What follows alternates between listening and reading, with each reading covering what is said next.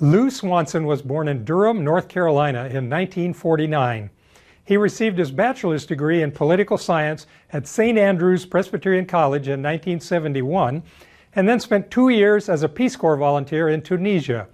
He came back to complete his master's in international development from NC State in 1975 and a doctorate in rural sociology from Penn State in 1982. After graduation, he joined the University of Kentucky's Department of Sociology and worked there for 15 years. He moved to Colorado State in 1997 as professor and chair of the Sociology Department, later becoming Associate Dean of the College of Liberal Arts. He has spent his career studying agriculture and rural community policy. This article from his presidential address to the Rural Sociological Society in 1990 reflects a decade of his own work contributing to the study of rural communities in the United States in particular. It is important because it critiques a common perception, still very much with us today, that the economic success of family farms is the main determinant of healthy rural communities. Consider the evidence he presents and see what you think. Louis Swanson was interested in the quality of life in small towns because at that time, just as it is today, that small town quality of life seemed to be under attack. The deterioration of this quality of life appeared as part of a vicious spiral of decline, provoking population losses, which then further lowered the quality of life, and so on. He starts this chapter in a book about rural America with what still seems like a simple and obvious idea that if you want to understand what life is like in a small non metropolitan town, the first question you need to ask will be about what is going on with the farms that lie all around it. He suggested that the prosperity of these farms determines the prosperity of the town in their midst. Going all the way back to Thomas Jefferson, this idea is part of a fundamental element in the self image of the United States. We like to think of the farm population out there growing our food on the prairies as the bedrock of American society. Some of us actually can identify with this farming experience. Here you see me with my dad standing on the combine while his uncle and his cousins stop for a coffee break during the harvest. But how realistic is this image of farm life as the bedrock of American society? In the 21st century, life on a farm is probably about as familiar to most Americans as life on a South Sea island or following the reindeer herds in the north of Sweden. You may have visited a farm, but very few people have ever really lived on one. The farm population of the United States, shown here by age, starts out including four out of every 10 Americans in 1900, nearly half the entire population. Of course, there are some variations by age. Children are overrepresented because people on farms tended to have larger families than people in cities. In contrast, footloose young adults illustrate the old question, how you going to keep 'em down on the farm? As many of them took off, at least temporarily, to explore the bright lights and new kinds of jobs and lifestyles in the growing cities. By 1920, less than a third of Americans lived on farms. The wave of immigrants that had once added many new faces to the countryside began to concentrate more and more in cities instead, joining those moving there from the American countryside. The percentages for 1940 dropped again, but this smaller drop from 1920 is interesting because it actually represents two trends. Up to the great crash of 1929, people still rushed into cities, but during the Great Depression of the 1930s, there was actually a countercurrent of people thrown out of urban jobs who made their way back to live on family farms with relatives still out there in the countryside. The farms were still about a quarter of the national total population in 1940. But by 1960, the tide was running fast again, and only about one American in 10 could be found on farms. By both 1980 and 2000, the percentage of people living on farms had dropped to low single digits, where it remains today. It may seem a little odd to still think of farm life as the bedrock of American society. If it is, we are all perched on a very tiny outcropping of such bedrock. But keep in mind that these figures only include people living permanently on farms that they own or operate, It does not include the shifting population of farm laborers who own no land and only work for wages. These workers are included in other census categories with other kinds of wage workers.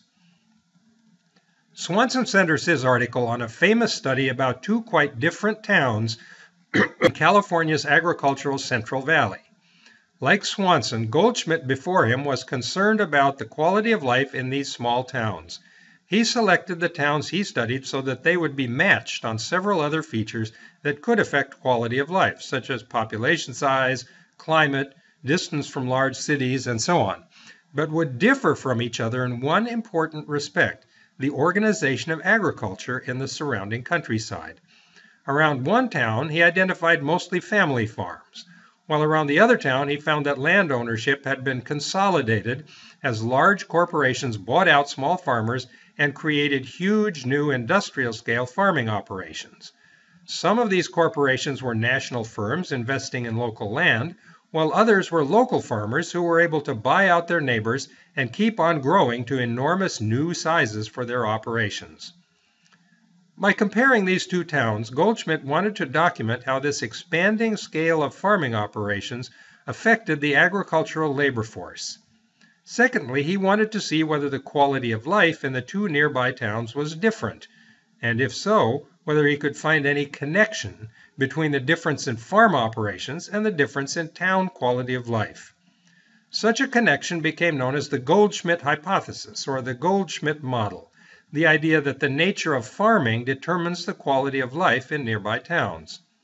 Goldschmidt found that the older family farm system led to many smaller owner operated farms where generations of children could grow up, attend the local schools, marry one another, take over the farms in their turn, and in some cases move to town and run businesses that supported the dominant agricultural economy. On the other hand, the consolidation of farming on a larger corporate scale gave rise to more hired laborers who might not be from the local area and who might not stay there for even one generation, let alone several generations. Any profitability from farming flowed to the new owners of the land, so the farm laborers had less money to spend locally than farm families would have done. In addition, mechanization of agriculture meant that the total number of people in the families of farm workers dropped far below the number of people in farm families who would have lived out in the countryside under the older system. So both the number of people in the agricultural sector and their social and economic status changed drastically with consolidation. Goldschmidt detected what he thought were many important connections between this change and the quality of life of his two towns. With much of the profitability of farm operations going to their distant owners, the local community no longer could capture as much business from the agricultural sector.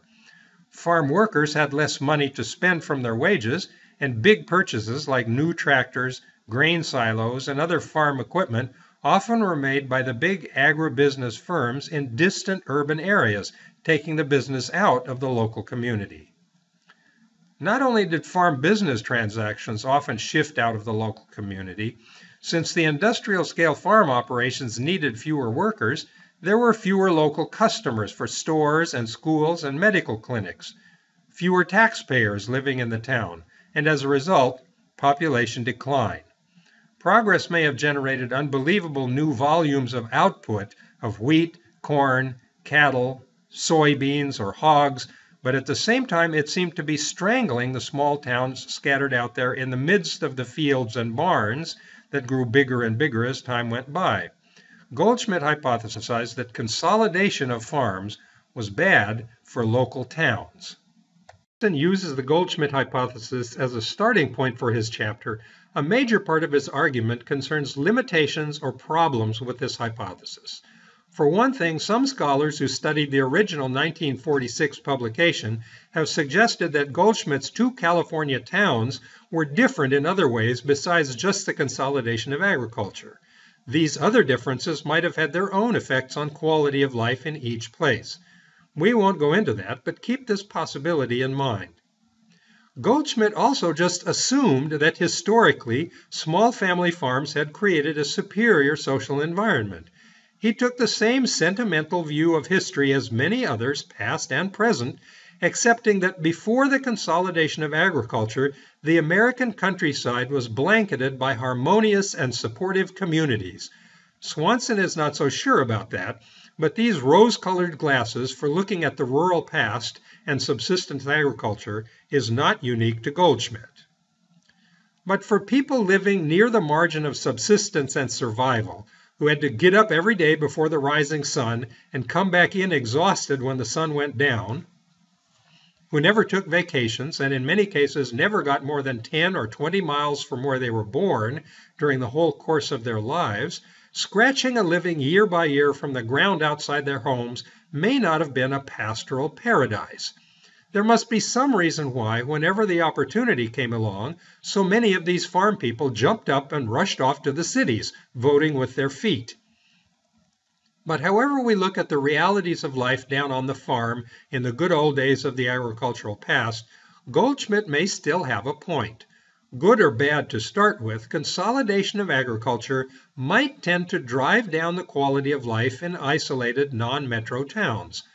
The coin of consolidation has two faces an increasing scale of production that replaces family farms with wheat fields that never end, and an increasing scale of consumption that means that the products bought by people living in small towns come from distant sources. Swanson takes a careful look at both sides of this consolidation coin.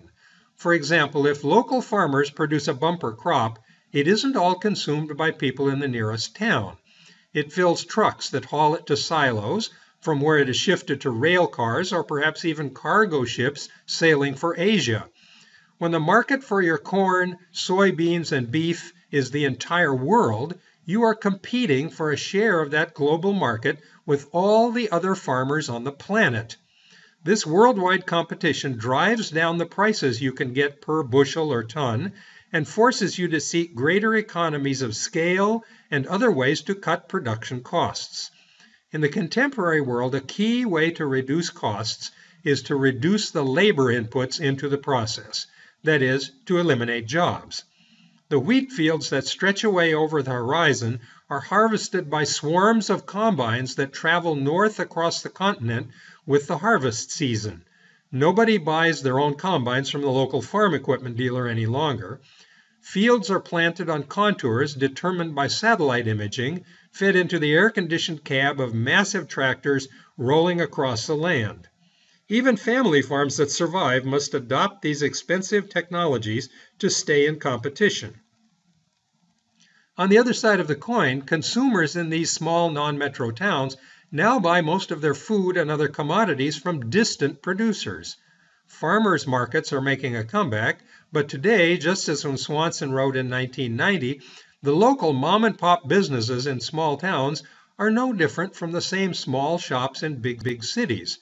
Everywhere, the increasing scale of the global economy drives these small time operators out of business because they can't compete on prices with Costco and Walmart and IKEA.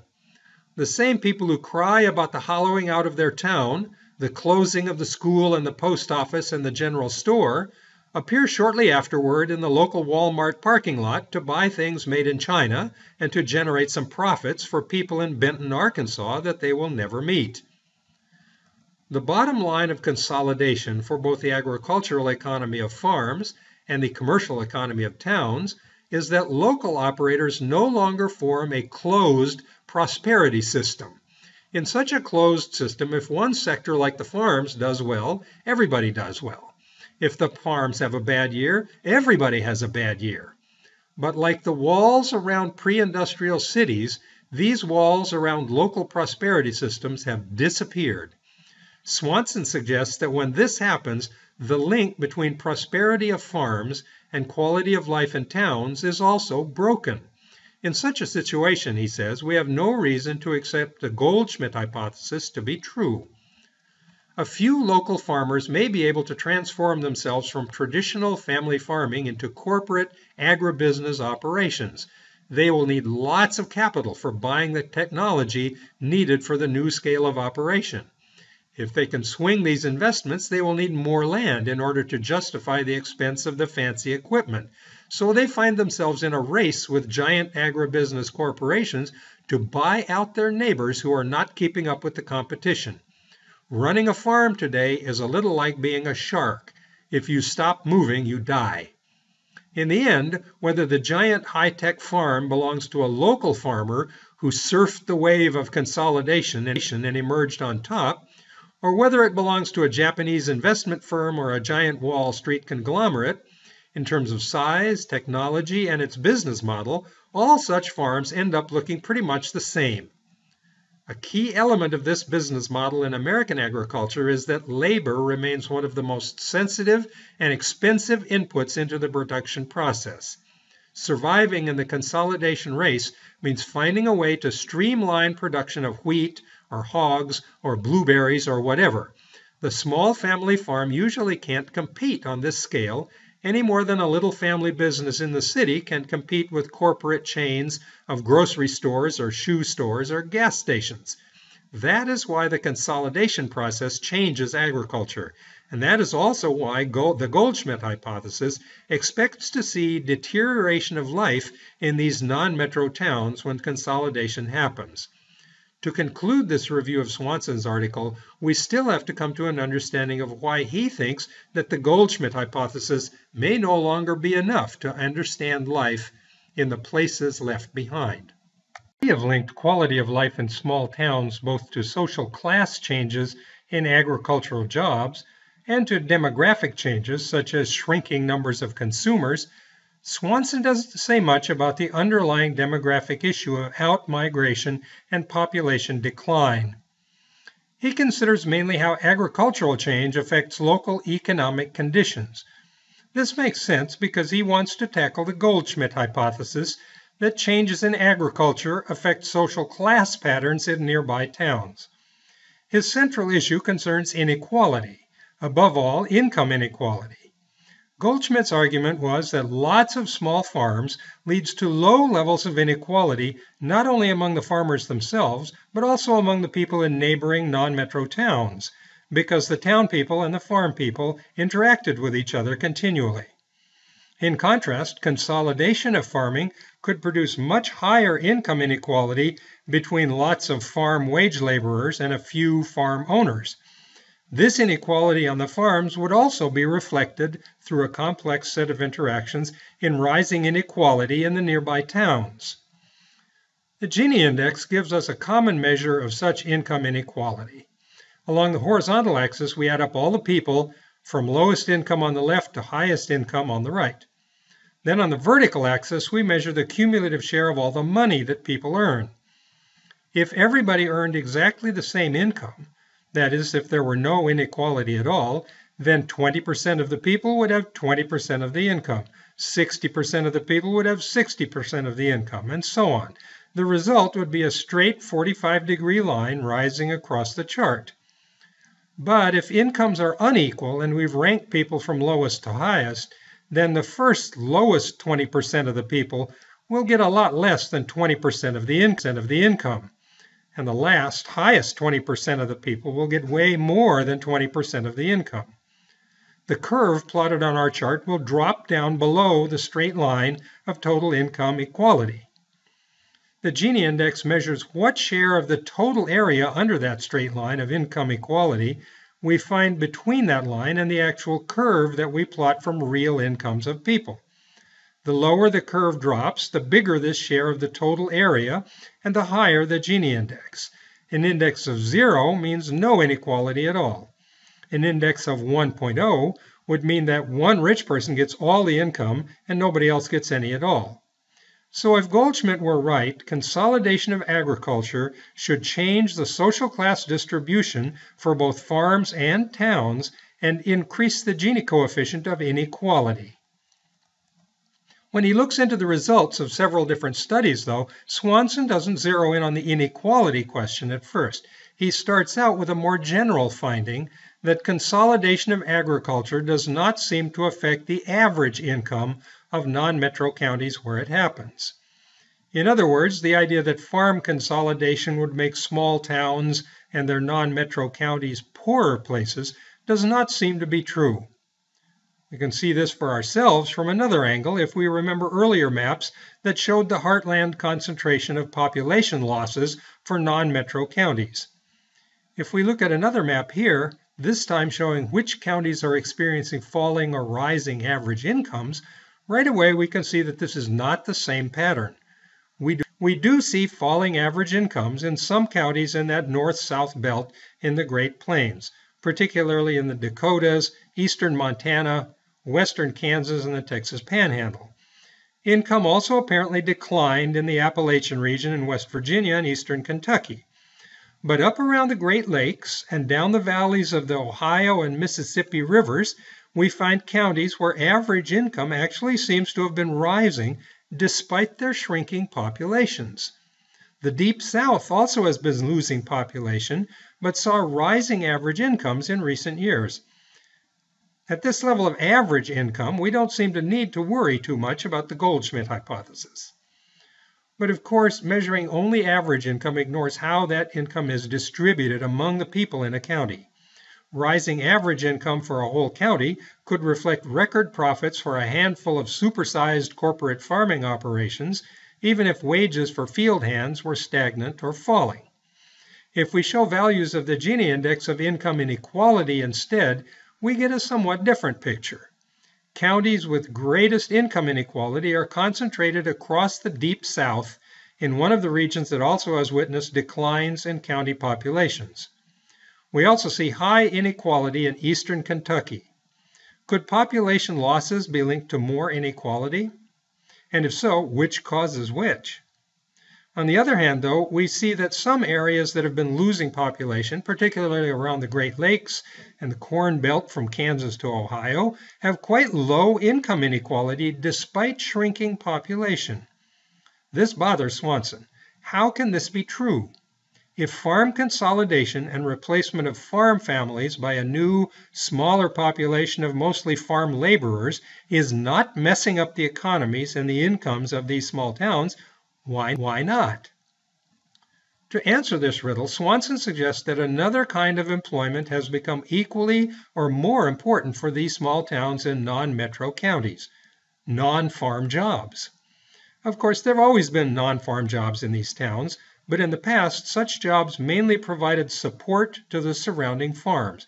People worked in the post office, in schools, in medical clinics, in repair shops for farm machinery, in feed stores, in commercial, professional, and other businesses that relied on local farmers as their main customer base. This is not what Swanson is talking about. A better example would be the gigantic BMW factory built some years ago in upstate South Carolina. That factory appeared in a non-metro county, not even inside an existing town of any size. The cars they build go to customers all over the world, not just out into the surrounding county. The TV sets and groceries and clothes bought by employees are not produced in the county. In fact, Swanson even makes a reverse argument. When non-farm jobs like this appear in one of these non-metro counties, some of the people with these jobs may go home to a farm when the shift ends. The fact that they can hold down an outside job may actually allow families to stay on small-scale farms that otherwise would be swallowed up by corporate agribusiness. This is the Goldschmidt hypothesis completely in reverse. Non-farm jobs determine the well-being of the family farms. And that is Swanson's bottom line. The vast new scale of the global economy means that the old local pre-industrial arrangements have melted away. The closed local prosperity system that linked the well-being of family farms to the nearest small towns has been torn down just as surely as the walls around pre-industrial cities. And the economic and social well-being of people depends not on what happens right outside their doors in a local neighborhood, but on where each of these people fits into that new global system of production and consumption.